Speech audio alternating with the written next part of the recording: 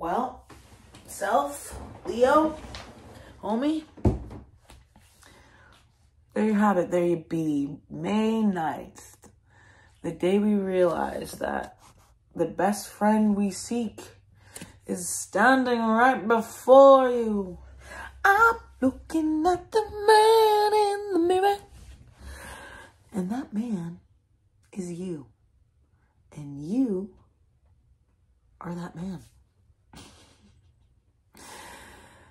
And your own personal best friend.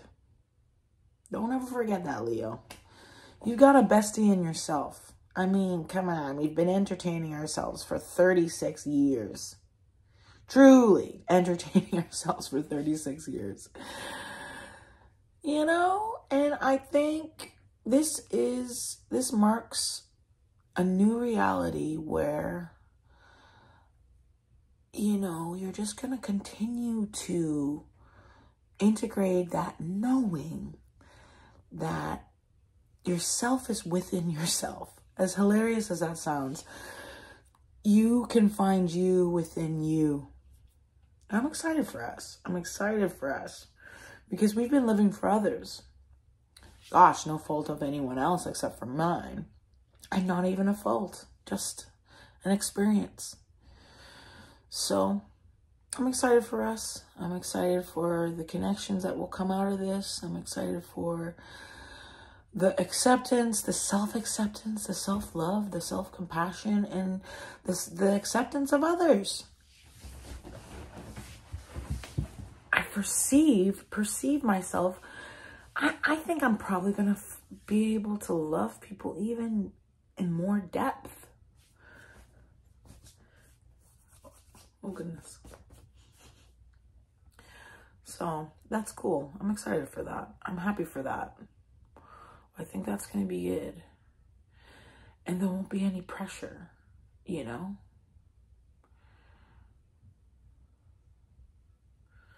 Because there is no pressure. Because, yeah, because it's, it's, it truly doesn't matter.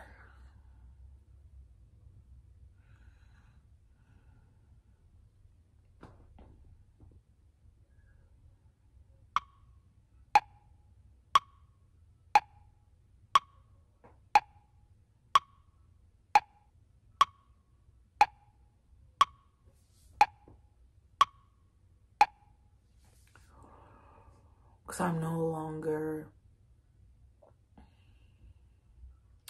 I'm no longer moving throughout the world in a way that is for others in that sense of me finding myself in them. I'm finding it within you. I'm finding it within you, Leo. What do you say?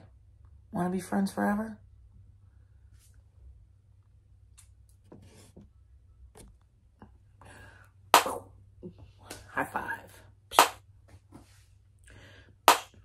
cool. I can literally high five myself. All right.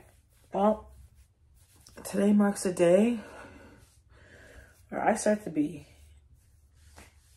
my own best friend.